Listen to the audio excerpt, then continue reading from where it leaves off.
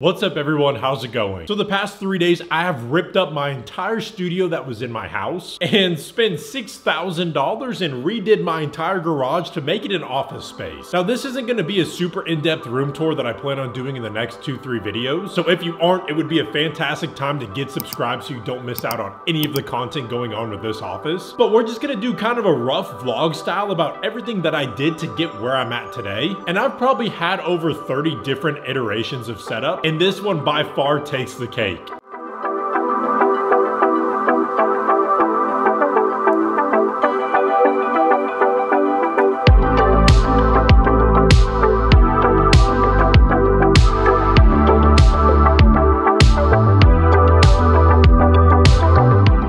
So I'll put up a few clips of what this office used to look like. And now, as you can tell, including the hexagon lights that I put up, it is way, way brighter. And right now the garage isn't too badly lit with all of my LEDs, but I added these hexagon light panels that I picked up on Amazon. And just for when I need that extra bit of light, I have. I mean, it illuminates this entire office like it's daytime. Now the garage floors were originally in a disastrous state. When I had my 1965 Mustang, it dumped all of its coolant and oil right here onto the ground. And I mean, it permanently stained it. I couldn't get it out. So I hired a company to come out and lay down this epoxy flake flooring. And after it cured for three, four days, this is so solid. You couldn't even scratch it if you tried to. Plus it kind of takes away from that industrial look of just having raw concrete and adds a little bit of texture to the entire room. Plus once I pick up a vehicle and I haven't parked in here, if I spill oil, coolant, brake fluid, anything, all I have to do is wipe it up with a towel and don't have to worry about it soaking into the concrete. So coming into my old office, one of the main things that I had to focus on is where I was gonna store all of my tech. This closet in this bedroom right here was full jam-packed to the top full of stuff that I'm still trying to sort through. So on the top of my list was getting something here in the garage that I could store everything in. This is the Husky nine piece storage set from Home Depot and it comes with everything. It comes with the solid butcher block top, all of the drawers with the black trim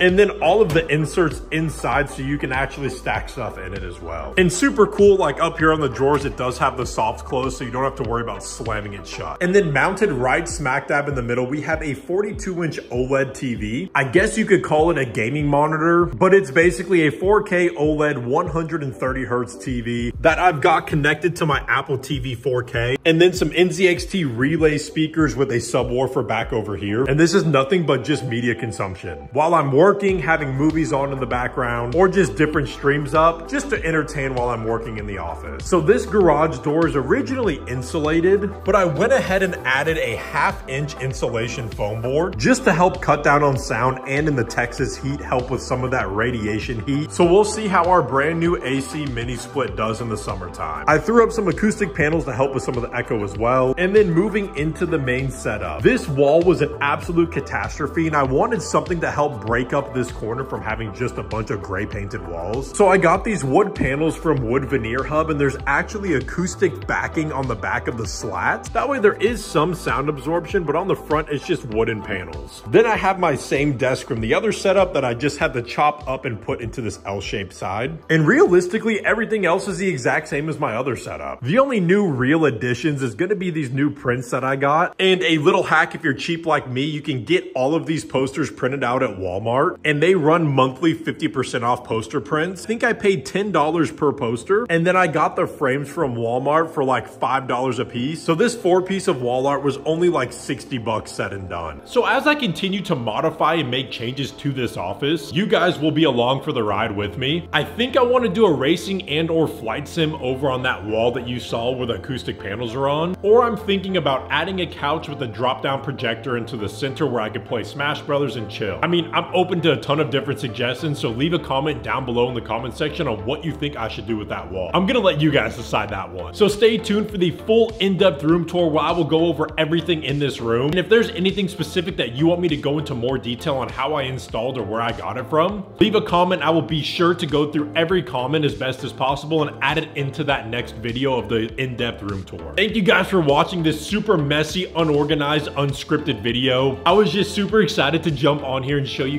guys this. Thank you guys for watching, and I'll catch you guys on the next video.